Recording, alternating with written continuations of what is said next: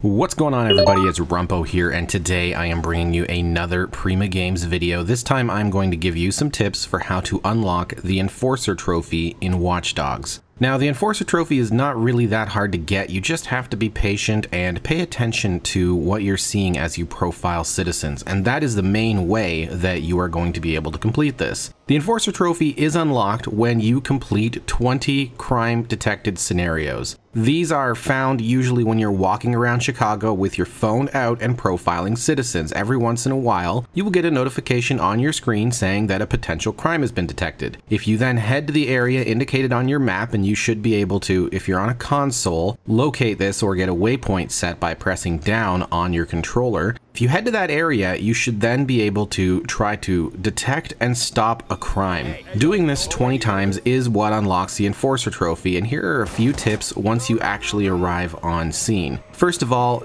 try not to drive into the area too fast because what tends to happen is the criminal, if that's what you spot first, will see you and of course this negates the crime detected and you have to find another one that will not count. You cannot be spotted. So you want to get close to the area, leave your vehicle if you're in one, and then approach using a cover to cover system. Once you do spot either the criminal or the victim, you want to keep your profile on them because it will go from a potential crime or potential victim up to intervene, which will turn the bar red. Once the bar is red, you want to sprint out from behind cover and take the criminal down. If you're able to take the criminal down before they hurt the victim, that's fantastic. It doesn't actually do anything to help you get the trophy, but it does give you a little more XP, and who doesn't like a little bit more XP? But either way, once the criminal is down, you can take them down, you can shoot them, blow them up, whatever you want to do. Once they're down, that will count as one of your 20. As soon as you reach 20, the trophy, or if you're on the Xbox or PC, it's called an achievement, will pop and you will have unlocked Enforcer.